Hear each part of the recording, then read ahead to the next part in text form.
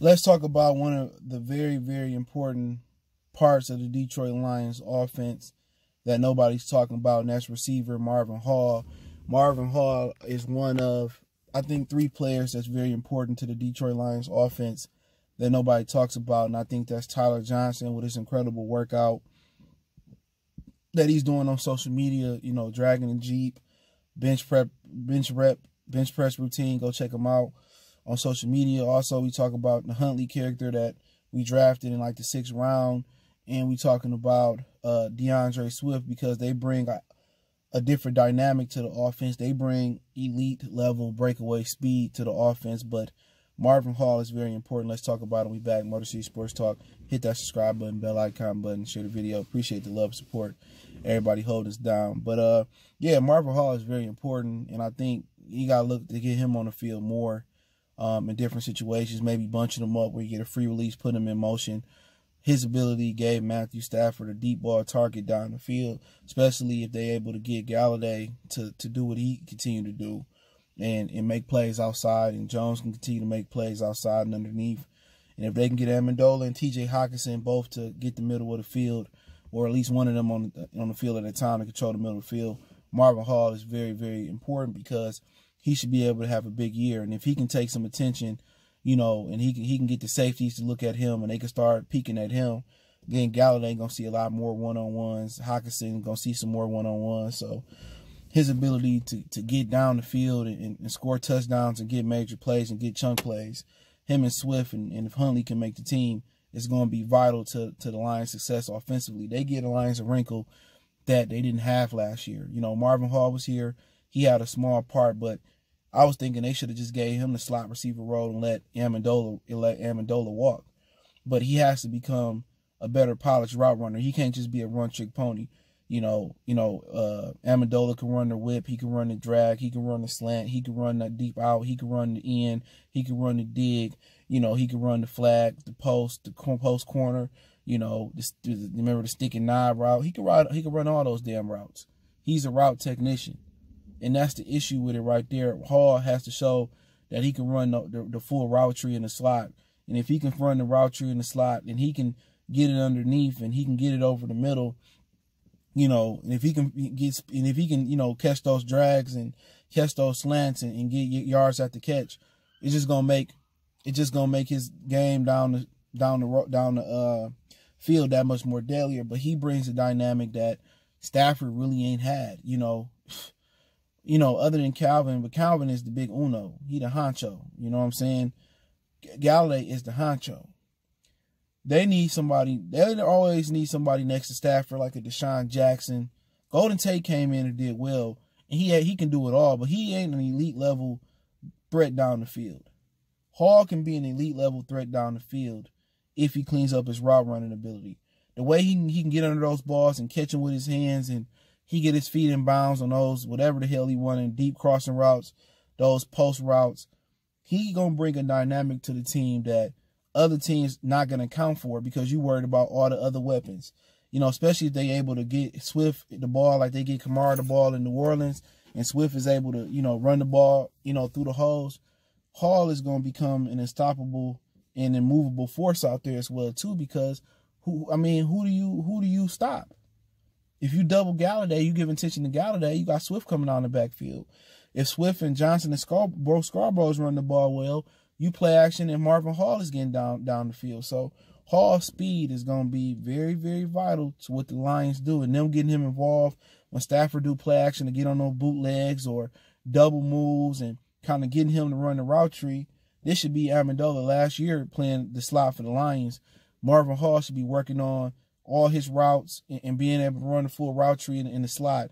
And also, if he can do that, he can play on the outside a little bit. You can put Golladay in the slot, and Marvin can run enough routes in the slot. You could do so many creative things with him. You could do reverses. You can do screens to him.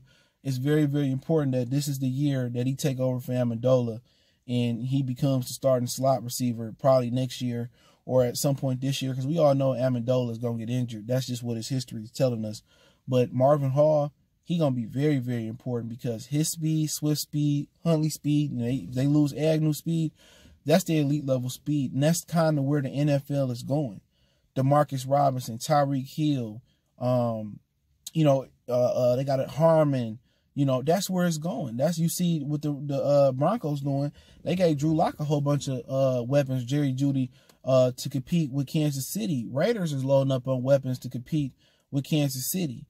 You know, look at uh what the Texans done. Even though they got rid of DeAndre Hopkins, they got faster with Brandin Cooks. They got more shiftier with Randall Cobb. Will Fuller coming back. I think they still got Kenny Stills. Maybe not. Maybe he walked. But you know, one thing that's great about Marvin Hall too, other than what he can bring on the field, is he cheap. he cheap. You know what I'm saying? So you're not paying a ton of money to to a guy to go out there and give you good production. His production should outweigh his contract, you know, by by by by by country miles. You know, so they got to find a way to get him the ball, and if they can run that rock, he he don't be don't sleep on him being a thousand yard receiver this year. If they can run that rock, because he gonna have so many opportunities with them. You know, Stafford got a lot of weapons on offense. The question is running the ball and how the line gonna hold up. But jump, but Hall ability to get down the field, that's gonna be huge. Because you ain't got to worry about nobody catching Hall. Hall gonna be able to run away. So putting him in motion, munching him up, making him unbumpable on the line, you know, teaching them how to get off blocks on the outside, you can move him around. And if they gonna start paying attention to him, Amendola should eat, Hockenson should eat, Swift should eat, Golladay should eat, Jones can eat. He is one. He is one of the most vital parts of this offense, going from being a top ten offense to creeping up in the top five, because he brings a dynamic that no other receiver bring. He can get it down the field. If they can get it from the backfield, that speed from the backfield, and they get the speed from from the receiver position, Stafford, the, the game gonna be a lot easier for Stafford than it was last year. You know what I'm saying? So they gotta they gotta look for that kid. They gotta put packages in there for them. You know, they gotta bunch him up. You know, and, and they gotta look for him. You know, Hockenson is gonna be important his year one to year two progression. Darrell Bevell's gonna, you know, he he more important than, than anybody on offense outside the offensive line in the running game because he the one that got to find a way to get the most out of Hall, the most out of Hockenson, the most out of Swift. He more of an old school West Coast offensive coordinator that like to run the ball in between the tackles, play action, and do some of those West Coast principles. But now he got to show he can involve Hockenson in the in the tight end, in the middle of the field game. He got to show that he can he can develop Hall to go down the field. He got to show he can run the ball here like he did with Marshawn, he did with Adrian Peterson. So he got his work cut out for him. But Hall Hall is the guy y'all sleeping on. Hall can can get can make the Lions, you know, offense from pretty good to elite. And if he they can run the ball and they can get the the the they can get the, the him down the field and making plays down the field and get him making plays underneath, he gonna be a problem. And that's gonna open up for for Golladay. That's gonna open up for Jones.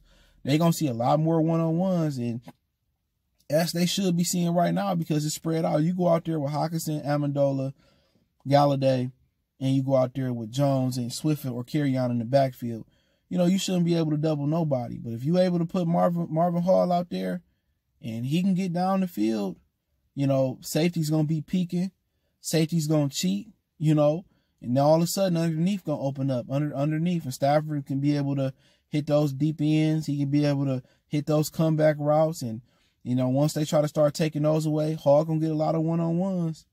A lot of one on ones. So Hall is a guy that people sleeping on, man, and he he's the only receiver out there that's that, that bring that elite level speed down the field. So that's something that we ain't really had. You know what I'm saying? And Titus Young was was starting to bring that for the Lions, but obviously he went cuckoo. Ryan Broyles was a guy that was more shiftier than fast, quick than fast. So we ain't never really, you know, in a long time had that the, uh, Jackson type receiver, man. So we need that guy on his team. And I think Marvin Hall can can do that. So hopefully he working hard. Uh, hopefully Darrell Bevell is drawing up some plays because they was highly successful with him last year, and I still think he's flying under the radar on most uh, Detroit Lions ops. You know, for the 2020 season, the, the uh, schedule should be released later this uh, week. And they're saying that the Lions won't be playing any international games this year or any NFL team. It was said that the Jacksonville Jaguars was going to play two games in London and low key, they might was trying to move them to London as well in the near future because they're not selling no tickets in Jacksonville. Maybe they could move to San Antonio Uh, I know Jerry Jones stopped the Raiders from moving there quite some time ago. But uh, but yeah, the Lions won't be playing on international games. They're supposed to be playing the Jags. It was rumored in London, but that may not happen. But hey, let me know what you guys think. Don't forget me on Facebook, Instagram, Twitter. All the links in the description. If you have a business question, inquiry, sponsorship, video request, share the videos. Don't forget check out the podcast link. It's in the description. I should be cooking something up real nice on the podcast soon. Uh, want to make a donation? Cash App, PayPal, description. Best way to donate is share, share the video. And don't forget to check my other channel out, Goodfellas Sports TV, for more sports, music, news, and entertainment. One time for the one time. We gone.